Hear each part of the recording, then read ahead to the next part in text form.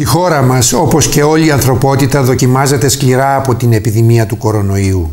Η ζωή μας άλλαξε και διανύουμε μέρες παράξενες. Φέτος ζούμε τις Άγιες ημέρες του Πάσχα με έναν τρόπο που θα τον θυμόμαστε ίσως για όλη μας τη ζωή. Χωρίς προσκύνημα στις εκκλησιές, χωρίς την επαφή με τους αγαπημένους μας και μέσα σε ένα κλίμα απομόνωσης και σιγής. Είμαστε υποχρεωμένοι να βαδίσουμε έναν ιδιότυπο Γολγοθά για να συναντήσουμε την αναστάσιμη χαρά. Σε αυτή τη δύσκολη στιγμή για τον κόσμο, τη χώρα αλλά και την πόλη μας, νιώθω την ανάγκη να απευθυνθώ στον καθέναν από εσά. Νιώθω την ανάγκη να σας ευχαριστήσω για την υπομονή που δείχνετε, για την πειθαρχία στην εφαρμογή των μέτρων περιορισμού της κυκλοφορίας, αλλά και για την αλληλεγγύη που επιφυλάξαμε για τους πληττόμενους συμπολίτες μας.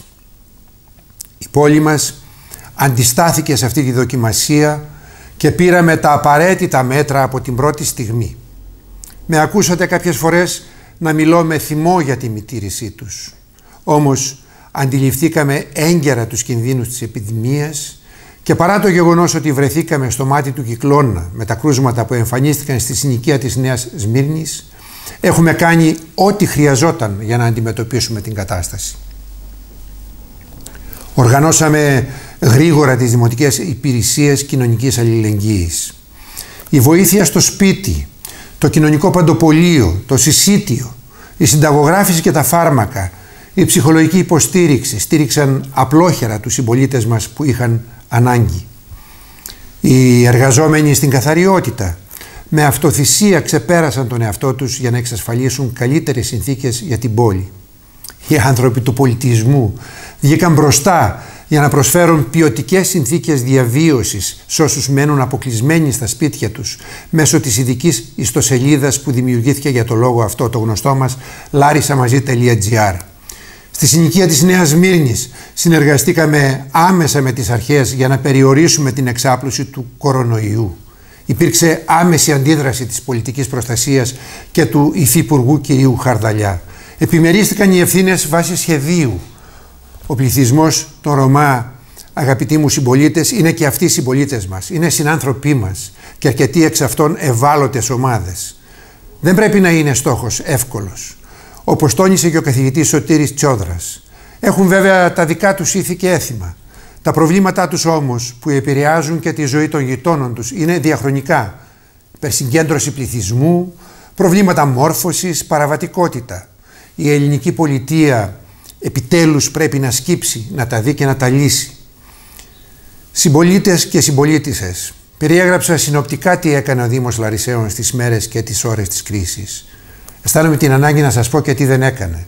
Δεν απαγορεύσαμε εμείς την κυκλοφορία στους δρόμους, ούτε κλείσαμε καταστήματα και επιχειρήσεις. Αυτό το έκανε η πολιτική προστασία και σωστά το έκανε, αφού με τον τρόπο αυτό περιορίστηκε η μετάδοση του ιού. Δεν επέβαλε ο Δήμος την καραντίνα στη συνοικία της Νέας Μύρνης. Αυτό το έκανε η πολιτική προστασία και σωστά το έκανε. Τέλος, δεν έκλεισε ο Δήμος τις λαϊκές αγορές. Η απόφαση αυτή ελήφθη επίσης από την πολιτική προστασία παρά τις αντιρρήσεις που διατυπώσαμε. Όλες οι αποφάσεις όμως σε περιόδους κρίσης παίρνονται από μια διοικητική πυραμίδα στην κορυφή της οποίας είναι η κυβέρνηση και η πολιτική προστασία. Πριν παρθούν μπορεί ο καθένας μας να έχει τη δική του άποψη.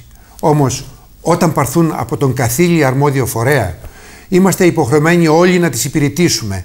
Ο καθένας από το δικό του μετερίζει με πείσμα και θέληση για την επιτυχία. Αυτό κάνουμε όλοι μας. Χωρίς μεμψημυρίες και παράπονα, χωρίς άγονες αντιπαραθέσεις την ώρα της μάχης. Ζούμε πρωτόγνωρες καταστάσεις και ας είμαστε όλοι φιδωλοί στην εύκολη κριτική. Πολύ περισσότερο όταν δεν έχουμε όλα τα στοιχεία μπροστά μας. Φίλες και φίλοι, σε αυτή τη δύσκολη συγκυρία είναι κρίσιμο να παραμείνουμε ήρεμοι, συγκεντρωμένοι στις, στις οδηγίες των δημόσιων αρχών και υπομονητικοί στις δυσκολίες που αντιμετωπίζουμε.